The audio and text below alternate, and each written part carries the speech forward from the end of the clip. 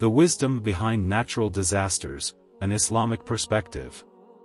There were thousands of deaths in Turkey and Syria caused by Monday's 7.8 magnitude earthquake and its numerous aftershocks. Other tens of thousands were injured and left without shelter during the winter.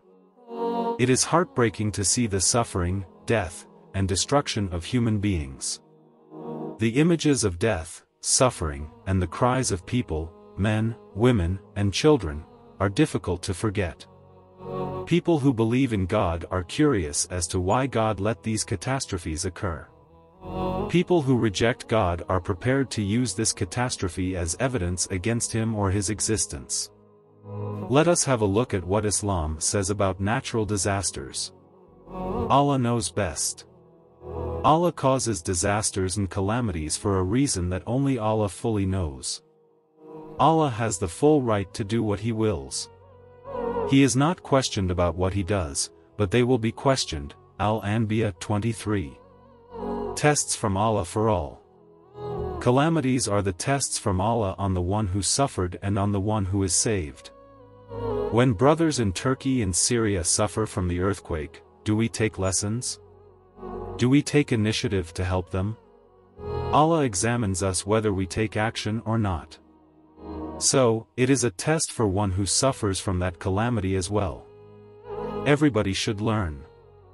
If you can't do anything, just raise your hands to Allah and ask Him to relieve their pain. Every soul will taste death. And we test you with evil and with good as trial, and to us you will be returned. 35. Meaning, Allah test you with calamities sometimes, and with blessings at other times, to see who is thankful and who is ungrateful, who is patient and who is discouraged. Or do you think that you will enter paradise while such, trial, has not yet come to you as came to those who passed on before you? They were touched by poverty and hardship and were shaken until, even their, messenger and those who believed with him said, When is the help of Allah? Unquestionably, the help of Allah is near. Al-Baqarah 2.14 Calamities are fortune.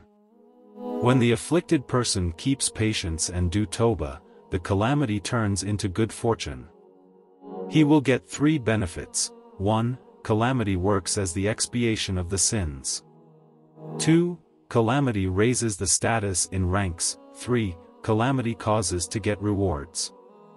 There is nothing that befalls a believer, not even a thorn that pricks him, but Allah will record one good deed for him and will remove one bad deed from him, the Prophet, peace and blessings of Allah be upon him, said.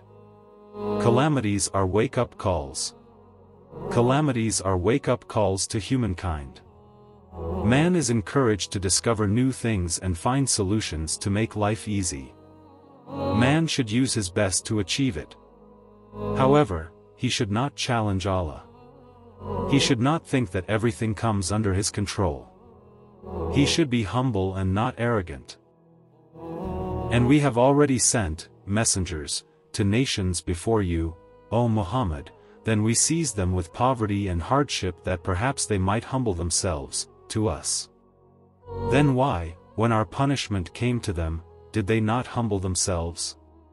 But their hearts became hardened, and Satan made attractive to them that which they were doing.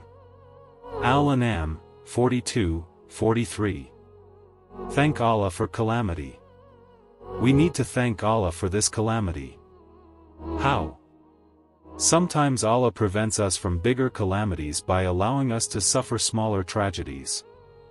If you assess any calamity or tragedy, you will find that there is always a calamity bigger than what you suffered. The biggest calamity is one's death.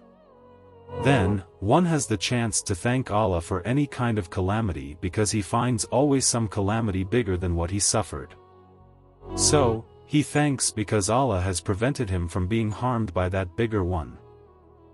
O people, whoever among the people or among the believers is stricken with a calamity, then let him console himself with the loss of me, for no one among my nation will be stricken with any calamity worse than my loss.